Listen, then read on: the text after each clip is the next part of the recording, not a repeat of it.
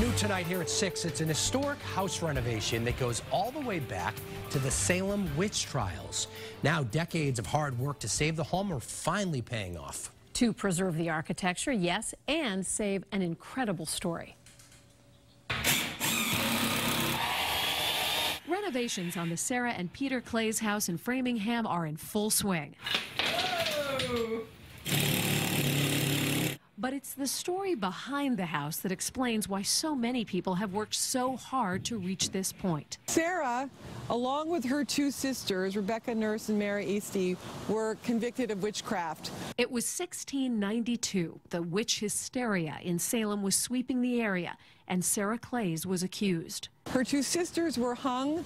She escaped the noose. No one knows just how she did that, but not long after Sarah and her husband moved here to Framingham.